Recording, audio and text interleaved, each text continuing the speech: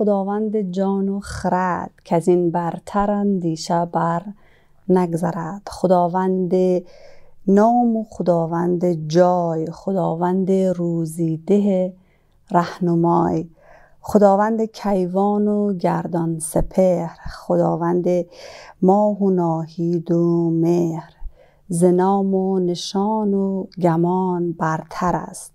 نگارنده بر شده پیکر است به بینندگان آفریننده را نبینی. مرنجان دو بیننده را نیابد بدونیز اندیشه راه که او برتر از نام و از جایگاه. سلام و درود عرض می کنم خدمت همه شما عزیزان و مهربانان و این ابیات بسیار زیبا از آغاز شاهنامه فردوسی توسی را تقدیم شما عزیزان می کنم امیدوارم در هر کجایی که هستید و برنامه خودتان برنامه زنده و مستقیم روشنا را نگاه می‌کنید. همواره صحتمند و سلامت جانجو رو تیار باشید. یک دوشنبه دیگر است و باز هم در خدمت کارشناس محترم خانم دکتر بیانی بزرگوار هستیم و از حضور ایشون استفاده می‌کنیم. سلام علیکم خانم دکتر بیانی بسیار خوش آمدید. بسم الله الرحمن الرحیم من عرض سلام دارم خدمت شما مجری خوبی برنامه روشنا و همینطور همه بینندگان عزیز. تشکر از شما. خانم دکتر بیانی بحثی ما در روزهای دوشنبه همطور که بینندگان محترم از ما هم می‌دانند مبحث اخلاق شهروندی است و که ما به عنوان افرادی که در یک شهر در یک اجتماع زندگی می‌کنیم. در یک مکان گرد هم آمدیم و زندگی می‌کنیم. چه خلق و خوی اخلاق صفات و ویژگی هایی رو باید داشته باشیم تا بتانیم که در کنار هم زندگی رو ادامه بدیم. و این در کنار هم بودن حد اکثر مزایا مزیت فایده رو برای از ما داشته باشن که شاید بزرگترین هدفش هم است که بالاخره انسان ها در کنار همدیگه به او تعالی و رشد روحی و معنوی که می‌خواهند برسند. در جلسات گذشته شما برای از ما بینندگان از ما در مورد مسائل مختلف صحبت کردید. خاصتا جلسه گذشته در مورد موضوع صدقه دادن بود و که چقدر تاکید شده در روایات اسلامی در دین ما به عنوان کاملترین دین که از طرف خداوند مهربان که قطعا خداوند یک شناخت کامل نسبت به انسان داره و قطعا فرامین و دستوراتی که خداوند از طریق نمایندگان خودش از طریق پیامبران و ائمه برای از ما میفرسته فرامینی هستند که بسیار دقیق هستند و می‌تونن که راهگشای ما در زندگی باشن شما برای از ما در مورد صدقه صحبت کردید و اینکه چقدر صدقه ارزشمند است چه فواید و چه مزایایی می‌تونه برای زندگی ما به عنوان شهروندان داشته باشه جنبه های مختلفش را توضیح دادن. اما من می‌خوایم که انشالله در این جلسه شما این مسئله را از زاویه مقابل نگاه کنید. یعنی ما در جلسه گذشته در مورد فردی صحبت می‌کردیم که صدقه میده و در آیات و روایات چه تأکیداتی شده یا چه آثاری برای صدقه دادن ای که ما به عنوان یک فرد به دیگری به یک نیازمند کمک بکنیم چه آثاری داره. امروز می‌خواهیم که ما به عنوان صدقه گیرنده ایره بررسی کنید که آیا در روایات ما در آیات یا روایات اسلامی چیزی در این مورد هم وجود داره یا نه که نقش و جایگاه صدقه گیرنده چیست و یکی ما در چه حدی باید برسم که صدقه بگیرم آیا هر کسی در هر جایگاهی می‌تونه که صدقه بگیره یا اگر که من صرفا علاقه مند باشم چون بالاخره صدقه یک مال حلال هست و یک مال راحت هست براحتی به دست میآید. من یک انسانی باشم که خودم ثروتمند باشم ولی خب قطعا از این مال هم بدم نمیاد هیچ کس از یک مال راحت بعدش نمیاد که بعد دستش برسه. آیا در مذمت از چنین فردی چیزی وارد شده یا نه؟ یک کار کاملا کار خوب است و یک کار حلال است و هر کس می‌تونه در هر جایگاهی کار انجام بده بعد دنبال صدقه گرفتن هم باشه. بله. ما با یک روایت امین بحث آخر شما را می‌خوایم پاسخ بگویم. شما فرمودید که یک ثروتمند یک پیسدار هم شاید به دنبال باشه که یک مال راحت به دست بیاره. روایتی است از حضرت رسول که اگر یک نفر نیازمند باشه او که صدقه می‌گیره. اما اگر یک نفر که به نیاز باشه صدقه برای او حرام است. یعنی ببینید که ما نباید نگاه مایی باشه که یک مال راحت به دست ما میآید. در روایات چنین فردی اگر که وجود داشته باشه یعنی مال حرام وارد اموال خود کردن و باز ببینید که همین فرد و همین اموالش میشه اما موضوعی برای روایات دیگه ای که درباره مذمت مخلوط شدن مال حرام با مال حلال خود ما گفته شده که حتی یک روایت هست. باز هم از حضرت رسول که حضرت رسول میفرمایند که اما مال حرامی که وارد مال حلال تو میشه او را آتش می‌زنه. مثل یک آتشی که در یک خرمن گندم میفته و در تاریخ هم داریم که بزرگان از ما بسیار دوری می‌کردن از مال شبهناک یعنی مالی بله. که حلالی که با حرام آمیخته باشن. و حتی در مهمانی هم که می‌رفتن اگر صاحب خانه یک فردی بود که چنین اموالی را می داشت سعی می‌کردن که تا جایی که دا- جا داره از او مصرف نکنن و در خانه خودم به هیچ وجه مال شبهناک را مصرف نمی‌کردن. بله. و به نظر میامی افرادی که گیرنده صدقه و دریافت کننده یا صدقه عمومی بگوییم. کمک هایی که در جامعه به خاطر ای که جامعه پیشرفت کنه اما دریافت کننده ها چند دسته می‌تونن باشن؟ بله. یک دسته افرادی هستند که واقعا نیاز دارند یک نفر است. یک وظیفه دارد. سر وظیفه خواهم موره کار خور انجام میده و تمام تلاش خور می‌کنه که یک مال حلال به دست بیاره. اما نمی‌تونه. بله. و یا یک نفر است که خب در یک وضعیتی قرار گرفته که سرپرست خانواده از دنیا رفته. یک خانوم است با هفت یتیم با بله. هفت صغیر. خب چی کنه؟ یک نفر است که حتی می‌تونه بسیار پیش آمده که در یک مسافرتی بودند که پدر و مادر هر دو با هم از بین رفتند و در رحمت خدا رفتن. اولادای باقی مانده. اینها چه کنند آیا شاید کوچک هم نباشند در ده ساله باشن پانزده ساله باشن یا بزرگتر باشن. یعنی هنوز تصمیمی برای در وظیفه رفتن ندارن یا مهارتی برای کسب مال حلال ندارن. اینا باید چه کنند پس یک دسته همی افراد هستند که واقعا نیاز دارن. ما میگیم که اگر شبکه حمایتگری در جامعه ایجاد شوه تثبیت شوه و رونق پیدا کنه و همینطور تکثیر شوه توجه ما به عنوان افرادی که در جامعه هستیم به همین افراد بسیار زیاد خواهد بود. در قالب های مختلف که ما در جلسات خیلی پیشتر درباره اینها صحبت کردیم یک بار در صنف همسایه با اونها خدمت می‌کنیم یک بار در صنف ایتام یک بار در صنف معلمانمان یک بار در صنف کودکان و اصناف مختلفی که در جامعه وجود داره. می‌تونیم که ما با اونها خدمت کنیم تا و اونها را از همین وضعیتی که فعلا در او گرفتار هستن خارج بسازیم. و خب اگر نگاه ما همچون جلسات پیشین گفتیم اگر نگاه مایی باشه که در اموال ما حقی برای اونها هست برای پرداخت حق اونها ما تلاش می‌کنیم. بله. و نیازی نیست که اونها بیان کنند. اما اگر یک نیازمندی بود در شرایط و لحاظ طبیعی یک موقعیتی پیدا کرده بود که نیازمند بود. و لحاظ اجتماعی یک تحولاتی رخ داده بود که فعلا نیازمند بود. بله. و همین فرد نیازمند به در خانه ما آمد. حالا به در خانه ما شاید نیامد. اه، موبایل از ما یک پیام ماند یک مسیج ماند که من فعلا نیازمند هستم. یا نه ما فعلا معاش نگرفتم. من شش ماه است که معاش نگرفتم. خب همین که من شش ماه از معاش نگرفتم یعنی که نیاز به حمایت دارم و باز در روایات است که اگر یک نفر آبروی خود خوره در گرو گذاشت و از ما طلب کرد. بر مسلمان است که طلب او و همی عرف او را بر زمین نگذاره و کمک کنه در اما حدی که می‌تونه چون بالاخره وقتی که یک فضای عمومی در فضای عمومی اه، یا فقر یا نداری گسترش پیدا کرد خب ما هم جز همو افراد.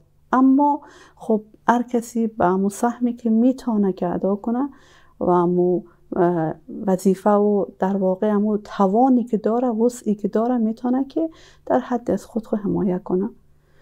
پس یک دسته افراد هستند که درباره اینها سفارش عمومی و سفارش روایات به است که تلاش کنیم که به او حدی نرسه که اونها از ما طلب کنند. ما قبل از اینکه اونها طلب کنند به سمت اونها بریم. می‌شناسیم. افراد دوستان ما هستند همسایگان ما هستند اگر هر نفر توجه او به همسایه ها باشه توجه به فامیل باشه توجه به دوستان خود خوب باشه توجه به همکاران داشته باشه قطعا فرصتی پیش نمیآید که همکار ما از ما طلب کنه و یک فقر خود خود در میان بگذاره نیاز خود خود در میان بگذاره. و خب همه ما ارتباط داریم می‌تونیم که یک رسم سنت قدیمی بود که بسیاری از پدرکلان های ما هم هنوز رسم دارن که وقتی در خانه یک نفر ما رفتن هیچگاه دست خالی نبودن. هیچی که نبود دو قرص نان می‌گرفتن و با خود میبردن.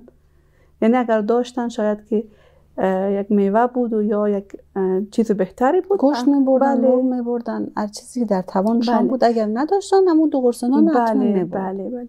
و خب چه خوب است که ما همین سنت های خوبی که وجود داره تقویه بسازیم انجام بدیم و به دنبال او باشیم. به خاطری که باور داریم بسیاری از بحث هایی که ما در دوشنبه ها داریم اینا عموما تکرار هستند و عموما وقتی نگاه می‌کنیم به زندگی بزرگترها پدر کلانها مادر کلانها می‌بینیم که بسیار بهتر از ما انجام میدن و ما یاد میدن فقط به خاطری که جوانترها توجه داشته باشند که همین سنت های زیبا با خود خود به نسل های بعد منتقل کنن. اولا خود ما انجام بدیم و باز در اولادای خود انشاءالله که آموزش بدیم.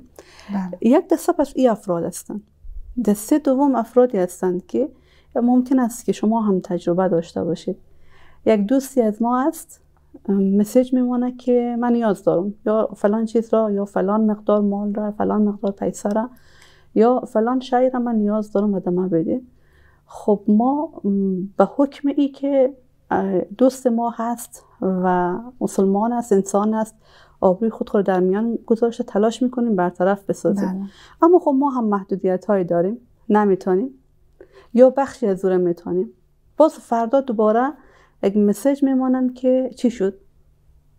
باز روز بعد باز روز بعد. افرادی که پیگیری دارند و همون نیاز و سوال از خود خوره بارها و بارها با ما مطرح می‌سازند این دسته دوم هستند افراد که ابراز نیازمندی می‌کنن. که درباره امی دسته دوم ما روایاتی داریم که از امی کار اونها نهی شدن. علت همی است که شاید ما هم به عنوان طرف مقابل تحت فشار باشم شاید اگر یکی از امکارای از ما از ما ده هزار افغانی می‌خواه قرض بگیره؟ خب من توان یک هزارش داشته باشم. و همون یک هزار پرداخت می‌کنم. ولی ای که روز دوم سوم چهارم و دهم مسیج میمانند که من نیاز دارم و دم یا قرض بده یا کمک بده یا هر جور دم برسان خب من هم شاید نداشته باشم. هم یک فشار روانی به طرف مقابل بله. وارد می‌کنن. و همی که شن خود کم می‌سازه بله. و طرف میگه که عزت نفس نداره که خود اصلا خود همین سوال کردن و طلب کردن و بیان کردن نیاز خود همین می‌تونه که در کم کردن عزت نفس نقش داشته بله. باشه. ولی یک نفر اصرار می‌کنه و به طور مدام پیگیری می‌کنه خصوصا در وضعیتی خب وقتی که دو نفر هم رتبه هم باشن فرض کنید ما باشم و همکار از ما باشه. خب عموما به لحاظ اقتصادی هم در یک وضعیت هستیم. بله. یعنی چه بسا اگر او نیاز داره من هم نیاز دارم اما نخواستم که نیازی از خود خوره عنوان بسازم. بله و ابراز کنم و اصطلاحا صورت خود خوره با سیلی سرخ نگه داشتم. بله, بله. و خود چه بسا که یک فشاری بر من وارد شوم و مجبور شوم که به خاطر همو همسایه یا دوست یا همکار یا فامیل خودم تحت فشار دیگه قرار بگیرم و بدون اینکه تمایل داشته باشم به سمت یا قرض گرفتن یا بالاخره کمک گرفتن از دیگران پیش برم. و خب امی واقعا شاید که باب میل از من نباشم بله. این دو دسته شد. دسته سوم یک نفر است که بی نیاز است. اما به خاطر آسانی دریافت مال از دیگری لازم نیست که شما سر وظیفه برین. لازم نیست که سر زمین برن لازم نیست که باغ بله. برن لازم نیست که مالداری کنید چون تمام این کارها با وجود ای که کارهای بسیار خوبی هستن بسیار پرزامدن درست. شما باید که وقتی که اه، در مالداری میرین؟ باید طبعات او را بپذیرید. بوی بدی داره یا انواع حشرات داره یا بسیار کارهای سختی هستن که از عهده بسیار از مردم واقعا بر نمی تحمل اون کارها کارهای سختی است. و یک فرد نیاز هم نداره اما خوش میشه که یک بوجی آرد یک بوجی برنج در خانه او بیایه چنین فردی را حضرت رسول درباره او میفرمایند که صدقه برای فرد حرام است. به خاطری که ببینید وقتی که ما احساس کنیم چون اون فردی هم که صدقه داده یا خیرات داده یا مال از خود خود برای فقیر در نظر گرفته خود او هم شاید بسیار ثروتمند نبوده ما در جلسات پیش گفتیم که بسیار از خانواده ها هستن که دو دانه نان دارن یک نان از خود خود در همسایه میدن. بله. یعنی خود او هم نیاز داره می‌تونه همون یک نان را برای فردای خود نگه داره ولی بسیار سخی است و بسیار انسان دوست است که در طفل همسایه هم فکر می‌کنه اگر که امی فردی که دو, تا دو دانه نان از خود خود تقسیم کرده با همسایه بفهمه که در خانه همسایه ده نان بوده او چه حسی؟ برای او ایجاد میشه. اثر تربیتی منفی هم داره بله، دیگه بله. کارو نمی‌کنه. بله بله. یعنی بار دیگه اعتمادی که به همسایه داره از دست میده. و چه چیزی ارزشمندتر است در جامعه از اینکه ما به هم اعتماد داشته باشیم؟ ببینید اعتماد پله پله و به سختی همین دیوار اعتماد بالا میره. و به راحتی فرو میریزه. و اگر فرو ریخت ببینید وقتی که شما دست شما زخم میشه شاید خوب شوه اما اثر او بر جا میمانه. بسیاری از افراد هستند که حتی زخم نه یک دانه که در صورت ما میشه در روی از ما میشه می‌بینید که اثر او بر جا میمانه. چطور است که یک زخمی بر روح ما وارد شوه و اعتماد ما از دیگران سلب شوه در وضعیتی که خود ما هم وضعیت مالی خوبی نداشتیم. خود ما هم دو قرص نان داشتیم. اما چون به خاطر ابراز نیازی که همسایه کرد یک نان به خانه او فرستادیم باز بعدا معلوم شد که او داشته. او داشته ولی مرا در وضعیت سخت مانده و از من طلب کرد. خانم دکتر در برخی از قریجات من امیر شنیدم که وقتی که مؤسسات کمک رسانی یک کمکی را میرسونن که در افراد غریب و مظلوم و فقیر در او قریه در او قریه و بدن یا در او شهر بدن. باز مردم فکر می‌کنن میگن که چون یک مؤسسه است پس این مالش دیگه یک مال کاملا حلال است و همه از آجی و از ثروتمند و از معلم و از همه کده صف میبندن برای که کمک را دریافت بکنن. و در حالی که توجه ندارند که این مؤسسه خب این پول خود و پیسه خود از کجا در میاره؟ از کجا به دست میاره؟ خب همه افراد هستن. یک عده افراد هستن که به مؤسسات کمک پرداخت می‌کنن. اون مؤسسه سازماندهی می‌کنه صرفا همون کمک ها را که به افراد نیازمند برسانن ما شاید به عنوان یک فرد بریم دشوار باشه که از همسایه خود صدقه دریافت بکنم و این کار نمی‌کنم. بله. و اصلا برای خودم کراهت می‌دانم که همین کار انجام بدم. وقتی که یک فرد هستم که یک زندگی عادی دارم. ولی از مؤسسه به راحتی دریافت می‌کنم و بخی می‌بینیم که صف بسته میشه در پشت مؤسسات و گاهی اوقات است که یک حرکت های بسیار زشت انجام میشه چون جمعیت زیاد میشه. او مؤسسه باز در خود بسته می‌کنه هر کس نمیمانه به داخل. رسوایی ها میشه ما شما شاید شنیده باشیم من نمی چیزها را. بله. موارد هستن ولی من باور دارم که کم هستن. یعنی شایع نیستن اما ما دوست داریم که در جایی که زندگی می‌کنیم در شهر ما در کشور ما در. منطقه و قریجات ما چنین چیزی نباشه دوست میداریم که بله. مردم ما زدن نفس داشته باشن برای بله. خودشون بخی کریه بدانن از اینکه من برم از یک فرد یا یک مؤسسه از هر کس یک چیزی را به رایگان بگیرم و در خانه خود مصرف کنم چرا امونان کمتر انسان می‌خوره ولی با عزت نفس و با غرور می‌خورم. خانم دکتر اگر اجازه بدن یک میان برنامه رو ببینیم و باز در خدمت شما بزرگوار باشیم. بسیار تشکر می‌کنم از شما. بینندگان عزیز ما از طریق واتساپ از طریق یوتیوب از طریق آپارات توییتر و دیگه فضاهای مجازی شما می‌تونید که با ما در ارتباط شوید. شماره تماس مثبت 964 780 255 40 13 هم شماره است. که شما می‌تونید خاصتا از طریق واتساپ با ما در ارتباط شوید. اگر کدام سوال از کارشناسان محترم برنامه دارید یا اگر کدام انتقاد یا پیشنهاد در مورد برنامه خودتون برنامه روشنو دارید انشالله حتما با ما در جریان بگذارید. بسیار خوش میشیم که نظرات زیبای شما را ببینیم. یک میان برنامه کوتاه را می‌بینیم و بسیار زود هم برمیگردیم.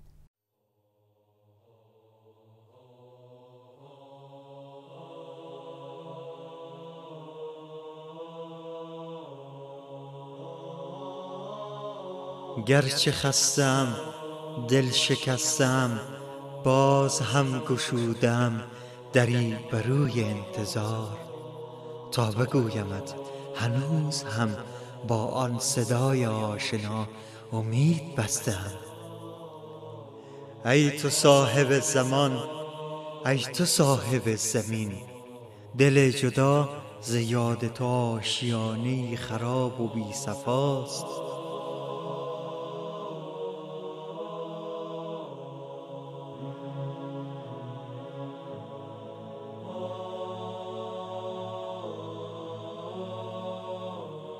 کوچه باغ سینم ای گل محمدی به نامت آشناست.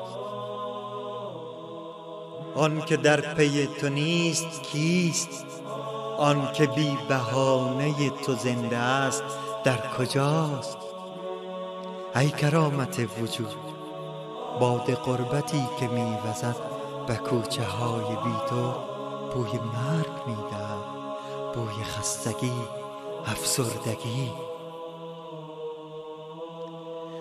کوچه ها در انتظار یک نسیم روح بخش یک پیام آشنا و دلنواست سینه را گشودند.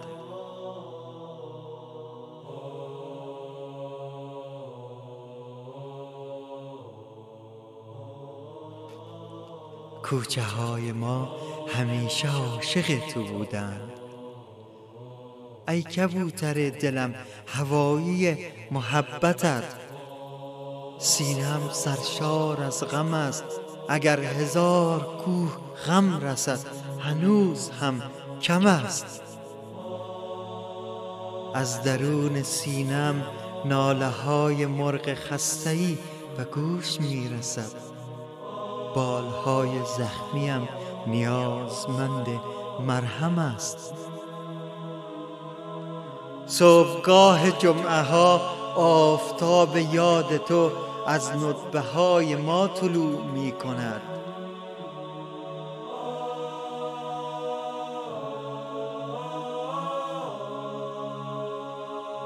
ای بهانه ای برای زیستن.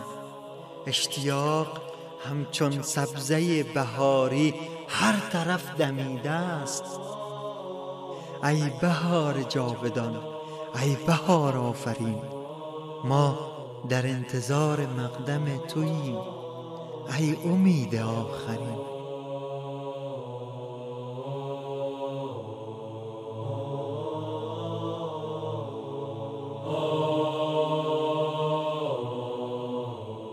یا صاحب الزمان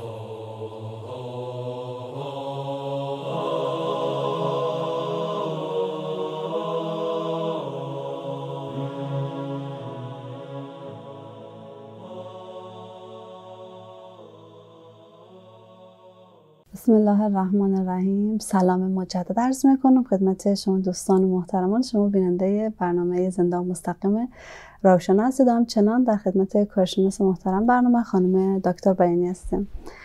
خانم دکتر بس در باب است که شما میفرمایید که مضموم است که انسان انسانی که از لحاظ مالی خودش در یک حدی از غنا رسیده و بهرهمند است صدقه دریافت بکنه. و تو فرمودید که روایت داریم که حرام است که صدقه دریافت کنه.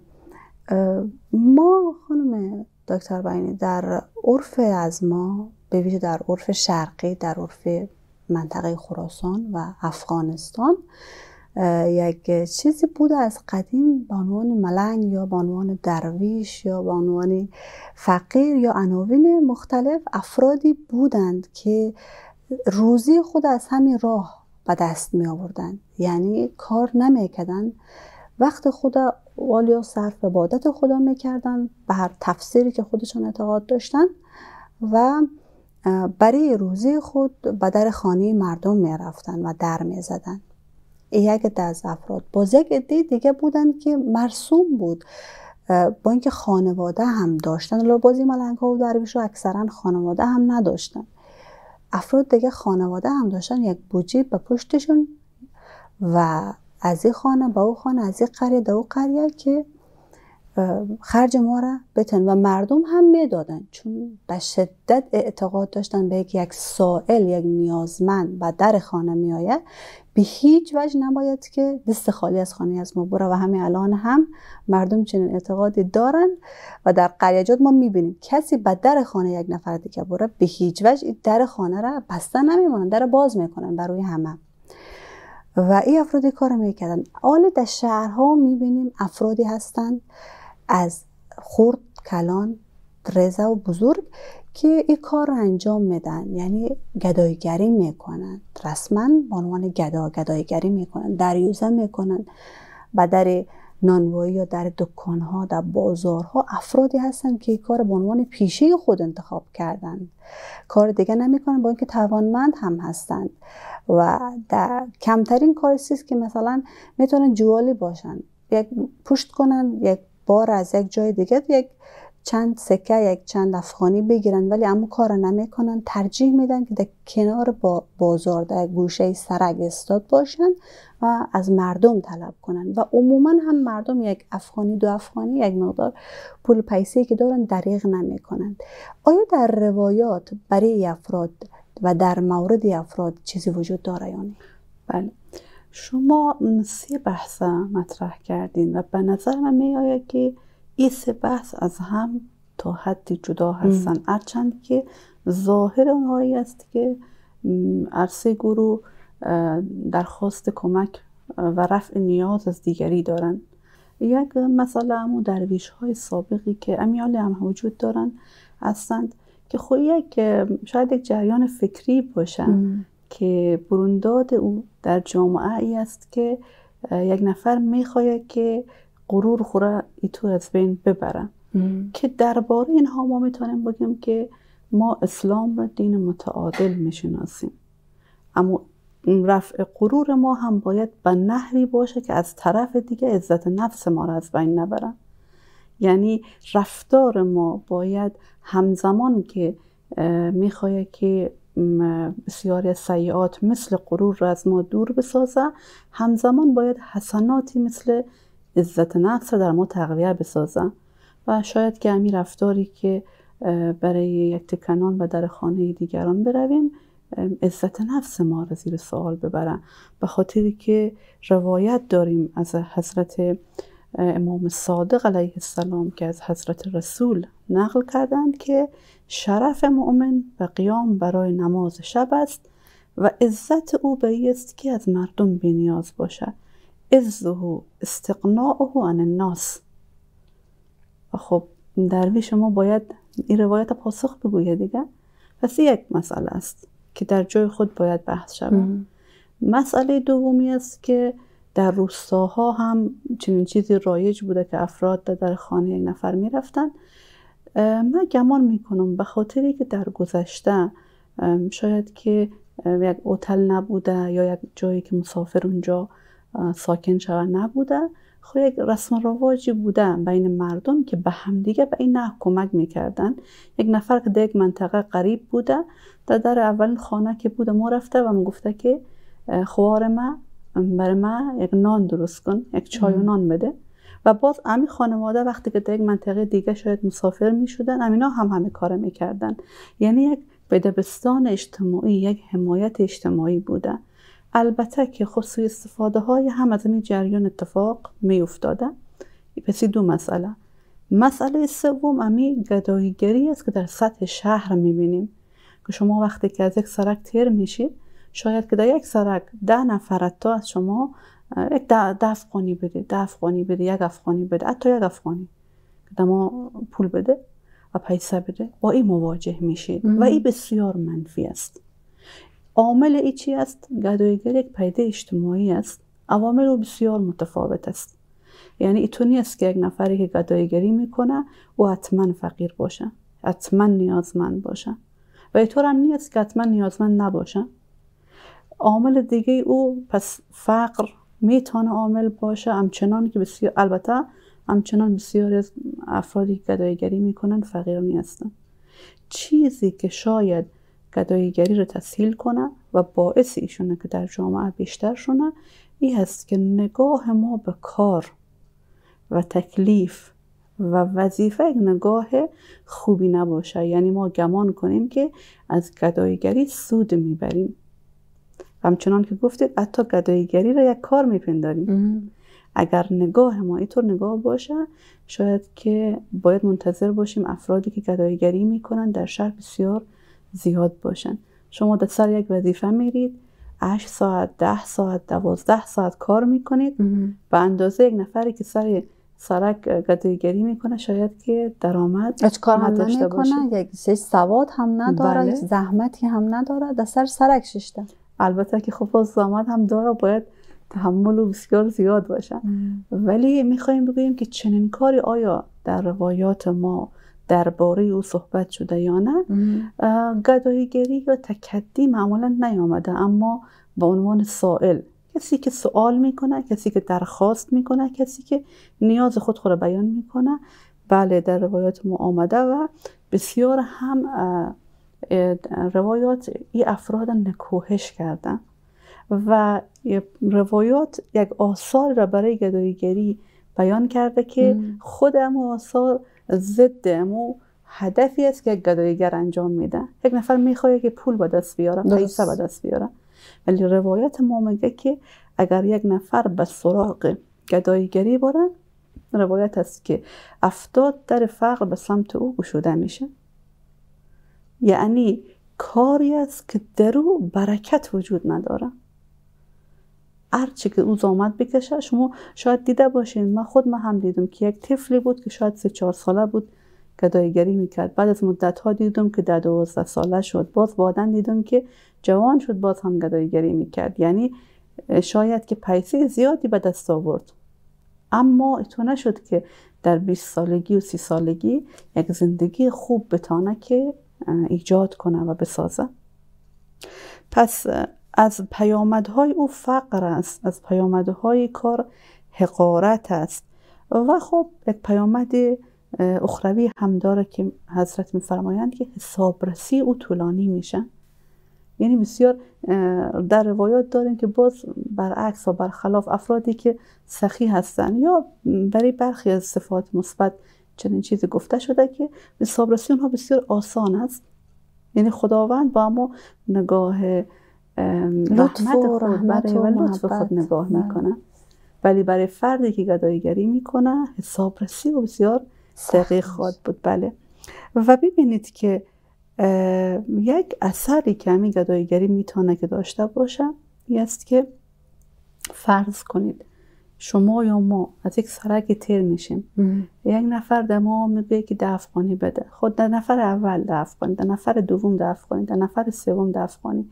اگر در یک روز با ده نفر مواجه شویم در نفر دهم که برسیم شاید به تفاوت شویم. و شاید همون نفر دهم کسی باشه که مستحق بود. بله بله.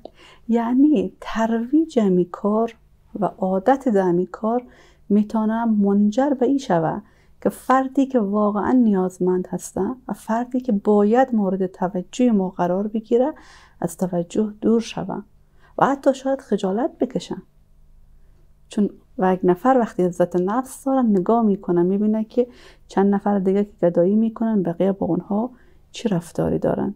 ات بیان نمی‌کنه حرف از خود خورن و خب دکتر من بسیار تعجب می‌کنم. مردم از ما شاید تا همه 20 سال گذشته یک مردم بودن که بسیار دوری می‌کردن از این کار.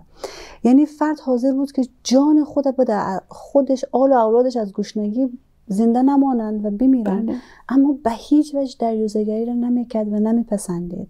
ما بسیار کم در افغانستان در مثلا در شهر کابل اما هم بسیار کم می‌دیدیم. کسایی که کار انجام بدن. من خانوادایی می‌شناسم که خانم دکتر اولادایشون مثلا از پنج سالگی به سر کار می‌رفت. کار سخت کار آسان هم. نه. بنانوایی می‌رفت از ساعت مثلا بعد از یا قبل از به قبل از نماز صبح از خانه طفل پنج ساله خارج می‌شد سر بنانوایی می‌رفت که شاگرد نانوا بود و کار انجام می‌داد برای که یک لقمه نان به دست بیاره به خانه بره و از به هیچ وجه. اصلا این خانواده گ- گداییگری و دریازگری و طلب کردن از دیگران تکدیگری را خوش نمی داشتن و بیشتر خانواده همین رقم بودن. ولی حال که نگاه می‌کنیم بسیار جای تعجب از فرهنگ عوض شده چه رقم است. اجتماع تغییر کرده که تعداد افرادی که کار را به عنوان پیشه و به عنوان شغل حتی انتخاب می‌کنن یک نفر جوان را انسان می‌بینه که کار انجام میده زیاد شده نسبت به گذشته. بسیار عجیب است. بله امی حرف شما مرا یک روایت به یاد من انداخت که امام علی علیه السلام میفرمایند که شیعه من از مردم درخواست نمی‌کنه حتی اگر که از گرسنگی بمیره. و ما امین روایت در طی در سنت از خود خب با یک مضمونی داشتیم که پدر کلان های ما می‌گفتند که سنگ به شکم از خود خب بسته کن. بله بله. و چیزی نگو و درخواست نکن. چی میشه که از او جریان ما به این جریان می‌رسیم؟ گفتم که گدایگری یک عوامل متفاوت داره و نمی‌تونیم که همه را تقصیر اما افراد بگذاریم. چون یک نفر وقتی که اما یک طفل است از پنج سالگی پدر از او او را در نانوایی می‌بره در سر کار می‌بره.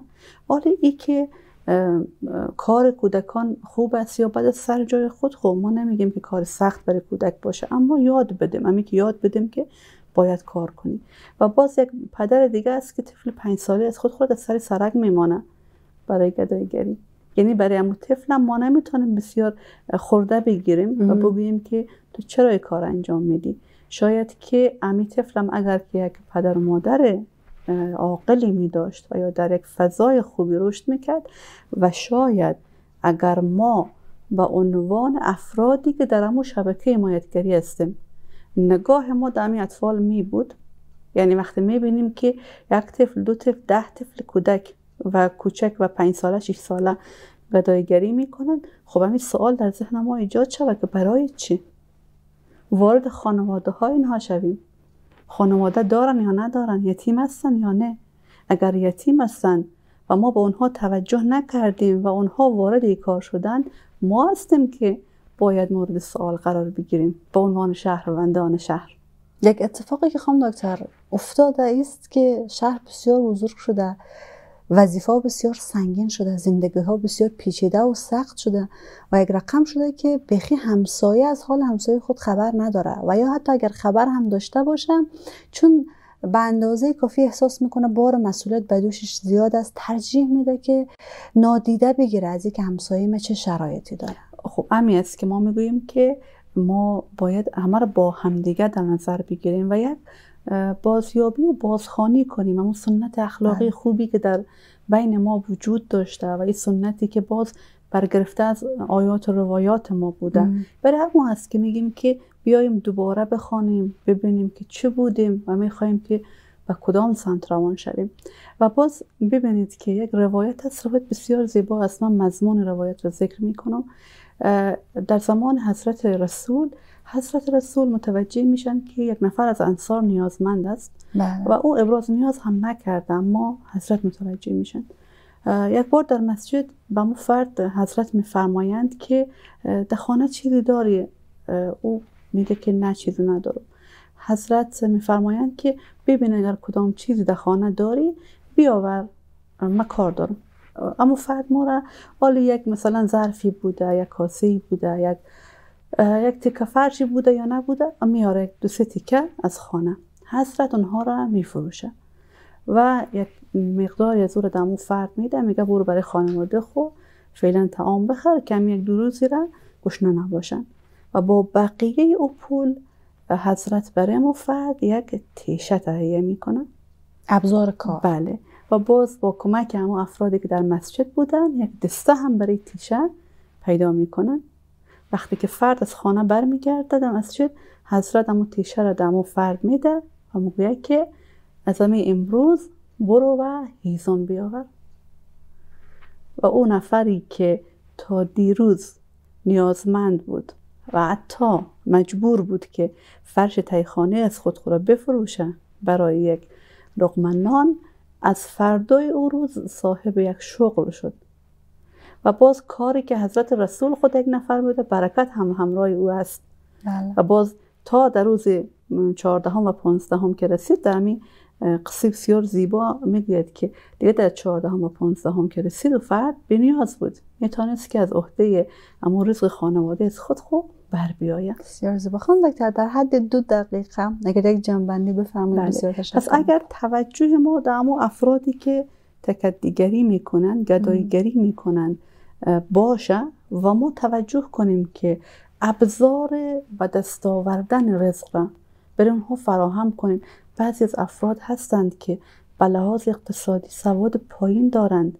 نمی‌دانند که باید چیکار کنند. چیزی که به ذهنش می‌رسه که من برم بله. دیگری کن بله. یعنی همه را به دید منفی نگاه نکنیم. برخی از اونها به خاطر کمکاری ما به خاطر کم توجهی ما دمی وضعیت گرفتار شدند. و صدقه هم گفتیم دامنه بسیار وسیع است. آموزش بدیم بله. به جایی که پیسه بدیم آموزش بدیم تا که آنها هم مثل ما مثل شما مثل افرادی که دوست دارند که عزتمندانه زندگی کنند زندگی خوب داشته باشند اونها هم حق ای دارن که زندگی کنن. اونها هم به حق... که ماهی دا یک نفر بدی ماهیگیری رو برش یاد بله. امی جریان اگر اتفاق بیفته و همه ما احساس مسئولیت داشته باشیم امیدوار هستیم که تعداد افرادی که در شهر ما گدایگری می‌کنن خود کم و کم و کمتر شود انشاءالله. بسیار تشکر می‌کنم از شما خانم دکتر بیانی عزیز. بسیار استفاده کردم. از شما بینندگان عزیزمون هم بسیار تشکر می‌کنم که تا این لحظه بیننده برنامه خودتان برنامه زنده و مستقیم روشنا بودید. عزیزان و بزرگواران اگر که قسمت های دیگه برنامه رو می‌خواید که نگاه کنید می‌تونید که از طریق کانال ما در یوتیوب آپارات از طریق اینستاگرام و دیگه فضای مجازی قسمت های مختلف برنامه روشنا را ببینید. شماره تماس مثبت 964 780 255 4013 هم شماره است که به شما عزیزان اختصاص داده شده تا از طریق واتساپ با امکان از ما در ارتباط شوید و اگر کدام سوال و پرسش در مورد موضوع برنامه دارید و یا اگر کدام انتقاد یا پیشنهاد دارید بسیار خوشحال میشیم که نظرات بسیار زیبای شما عزیزان را ببینیم و بشنویم. عزیزان و بزرگواران به لحظات ملکوتی از آن ظهر به افق شهر زیبای کابل هم نزدیک میشیم. ما را از دعای خیر خودتان فراموش نکنید. به همراه کارشناس محترم برنامه خانم دکتر بیانی بزرگوار از حضور شما عزیزان مرخص میشیم. در پناه خداوند مهربان باشید. سلام الله سلام الله سلام